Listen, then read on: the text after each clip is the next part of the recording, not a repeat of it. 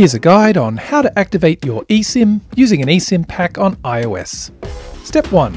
Download the amaysim app. Step 2.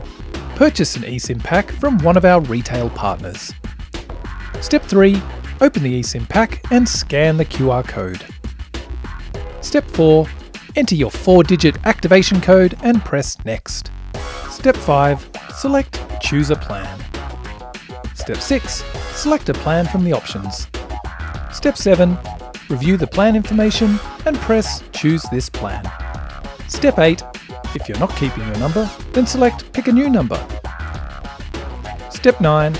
Select a new number or refresh the list for more options. Step 10. Select a number and press Choose this number. Step 11. Select Choose eSIM. Step 12. Enter your email address to create a new account or to sign in. Step 13. Review your purchase, then press Confirm and Pay. Step 14. Complete any MFA requirements. Step 15. Sit back and watch as your order gets processed, then press Continue. Step 16. Download your eSIM to your device. Step 17. Confirm you're on the right device, then press Yes, set it up.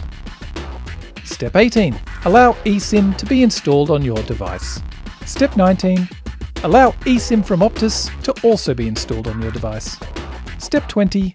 If required, set up your eSIM on your device. Step 21. All that's left is to press Start using my eSIM. And you're all done.